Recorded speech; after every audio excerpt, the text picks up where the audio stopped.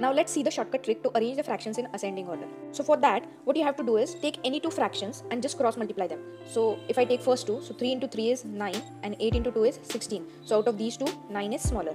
Then 7 into 16 is 112 and 12 into 11 is 132. So out of these two, 112 is smaller. So we'll compare the two smaller fractions again to see which one is smaller out of them. So 3 by 8 and 7 by 12. So 3 into 12 is 36 and 7 into 8 is 56. So obviously the 36 is smaller. So next two numbers are 2 by 3 and 11 by 16. So 2 into 16 is 32 and 11 into 3 is 33. So 32 is smaller. So first smallest number will be 3 by 8. Then next one is this, which is it? 7 by 12. Then next smallest is this, that is 2 by 3. And the last one will be 11 by 16.